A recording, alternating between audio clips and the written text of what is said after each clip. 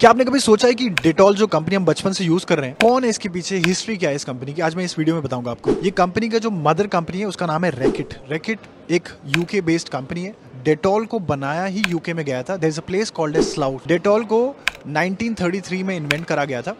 Only for doctors scientist ने इसको इसीलिए बनाया था ताकि जब बेबीज बॉर्न हो रहे हैं उनको इन्फेक्शन और वायरसेस ना हो जाए। There something called as puerperal sepsis ये हो जा रहा था तो या तो बच्चा मर जा रहा था या तो माँ मर जा रही थी डिलीवरी के टाइम पे। जब से डॉक्टर्स ने अपने मेडिकल डिवाइसेस डिसइनफेक्ट करके यूज़ करने शुरू किए 50 परसेंट सेप्सिस का जो डिज़ीज़ था वो नीचे चले गया। उसके बाद 1958 में कंपनी ने डिसाइड किया कि इसको हम घर घर तक पहुंचाएँगे पूरी दुनिया में। पहली बार यूके में 1958 में एक सुपरमार्केट के शेल्फ पे रखा गया।